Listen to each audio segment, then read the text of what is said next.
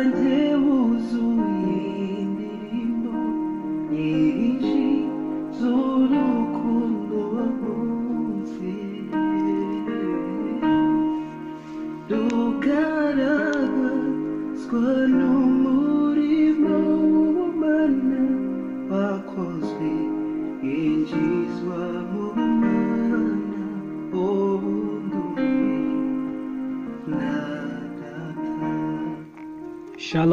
shalom. Ubu ni ubw'umwami yesu bubane namwe aho muri hose.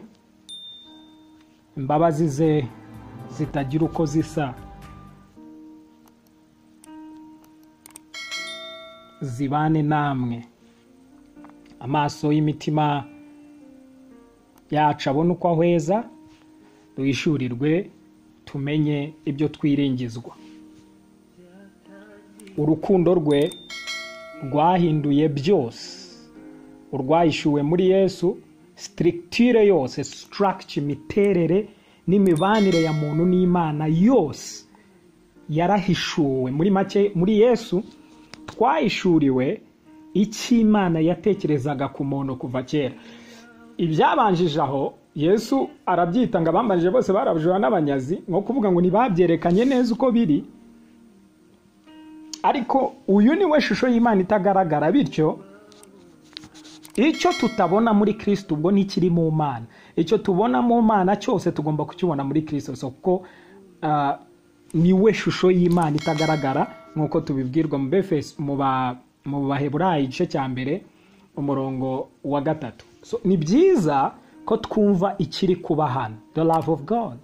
Urumva iyo tuvuga ngo ibihe byarahindutse yesu wabihinduye byose ubu reka twivugire nyine ibyo bihe turimo kuko ari ibihe bitangaje kandi byiza kuri buri wese uzashobora kumenya no gusobanukirwa. So duhishurirwa iki rero? Duhishurirwa ko imana ubwayo biciye muri kirisito yesu yabaye umutwe hanyuma itorero riba umubiri. Nk'uko nabivuzeho iki ni ikintu gikomeye kigiye kugaragaza uburyo ubundi imana ishaka ibintu cyangwa ishaka uko abantu babona ibintu. Reka nyibasobanurire muri iki gitekerezo muri iri jambo muri uku kuri muri uyu mucyo w'umutwe n'umubiri. Urumva yaduhaga n'ingero zigerageza kudufasha kumva uko abantu bazi uko umutwe n'umubiri bikora. Reka mbanze mbaze ikibazo gikurikira. Mu bumenyi ufite runaka ku bijyanye n'uko umubiri n'umutwe bikora. Ni ikihe gice gitanga amakomande gitanga amabwiriza ki- kibanza gukora kugira ngo ibindi bice byose bishobore gukora? Ese ni umutwe mu bwonko cyangwa se ni ingingo zibanza gukora kugira ngo ubwonko bushobore gukora? Nanone aha tubona ko ingingo ntizikoresha. Hari ububasha buba mu mutwe bwonko butuma ingingo zikora. Niki imana iri kutwigisha hano? Iri kuduhishurira ngo biva ku mana biza kuri mwe. Ntabwo bihera kuri mwe biza ku mana.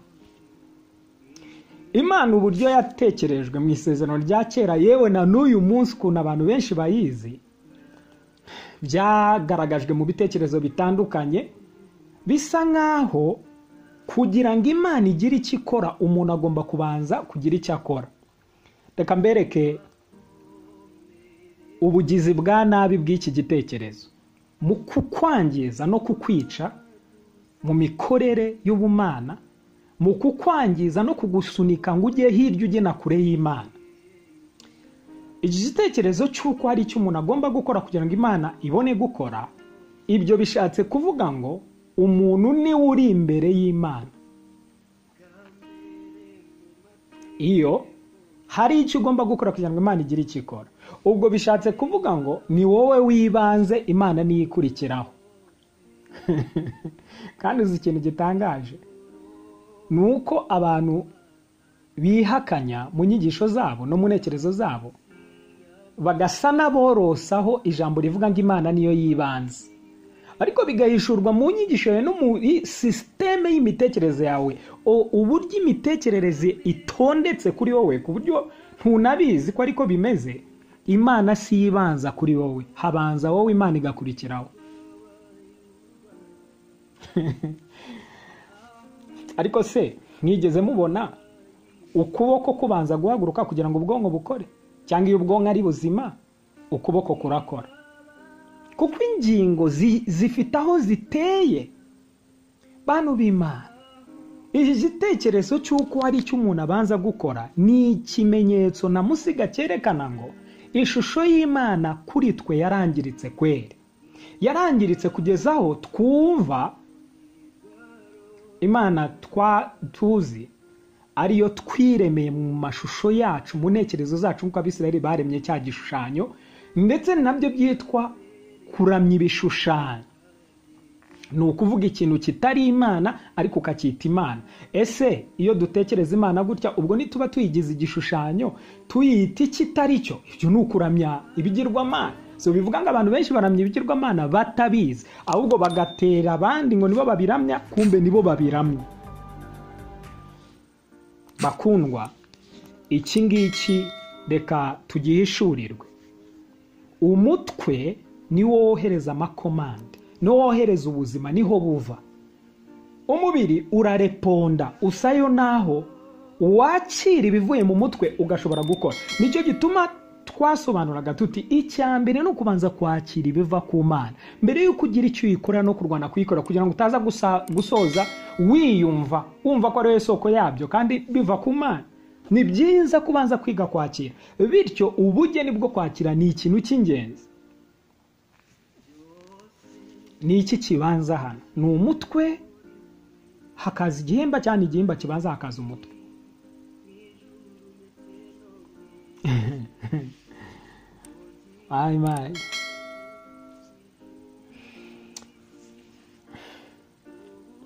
Umutwe niwo ubanza. Hagakurikiraho igihimba so n'imana iri kuduhishura ivuga iti kuva mbere. Nashaka kubereka ko ntashaka ibitambo byanyu. N'ibyo muri kugerageza gukora ngo munyumvishe. Ahubwo nimu- nimwige kwemera ibyanjye mwakire ibyanjye. Nibwo muzaruhuka.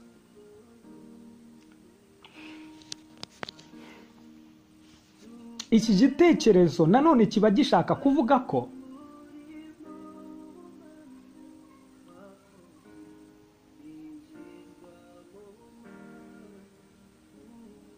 imana.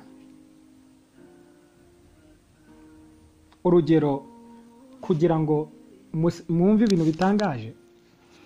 Ubusanzwe iyo hari umuntu waguhemukiye imana iduhishurika tukigisha ibyo kubabarira. Kavuga mubabarirane nk'uko kirisito yababariye nawe kubabarira nk'uko kirisito yatubabariye ashatse kuvuga iki?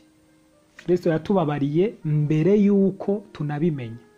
Ntiyatubabariye ko twasabye imbabazi. No yagiye ya- yafashe yatubabariye tutaranabimenya tutanabizi. Nk'uko twandikiwe ngo imana yadukunze urukundo kera tukiri babi.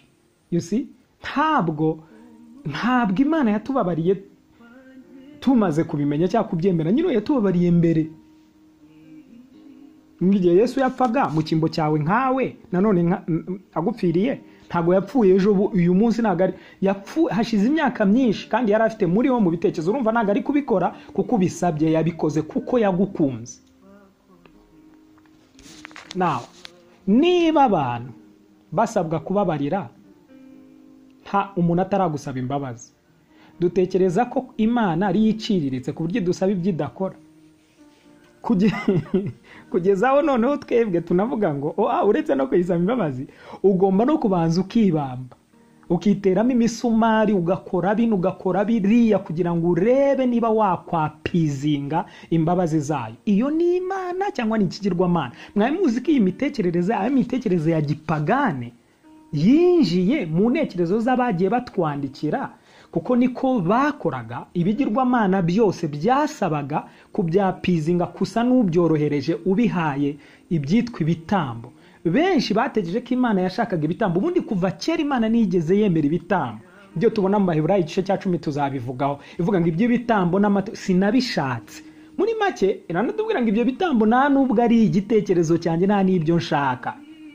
Kubera kubibaha nosiyo mbi y'ibigirwamana mugateza ko ariko nanjye meze.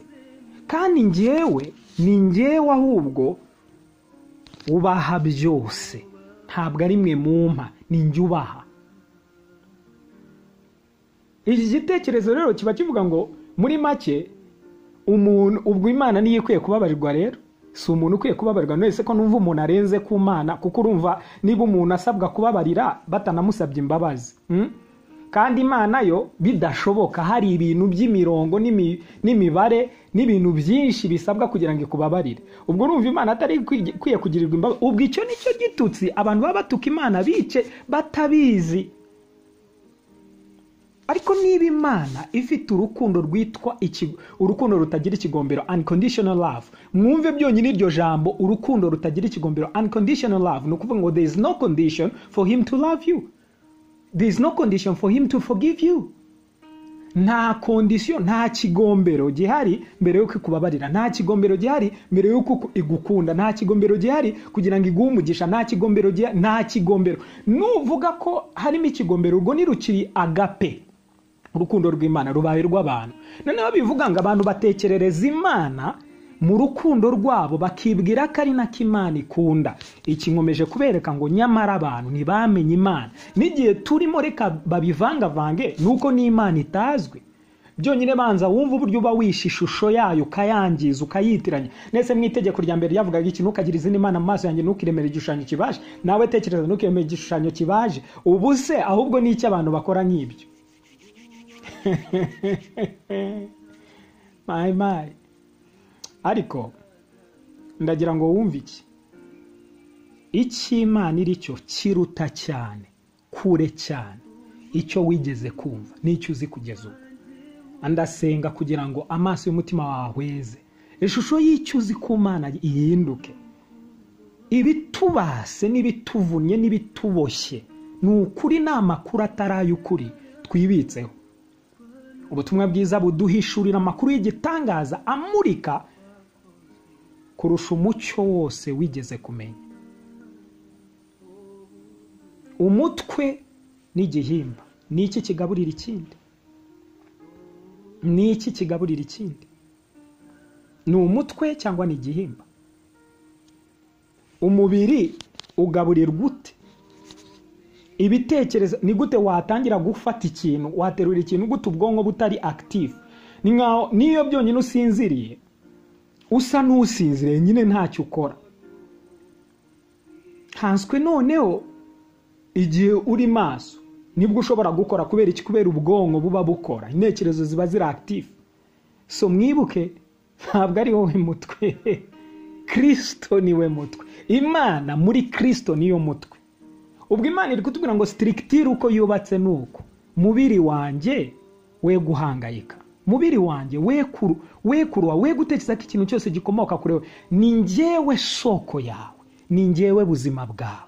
Ni ngewe bugingo bwawe. Ni ngewe ejo hawe hazaza. Ni ngewe uyu munsi hawe. Ni ngewe mahoro yawe. Ni ngewe mbabazi zawe. Ni ngewe byose byawe. Ubwo umutwe ni kuri kuvuga.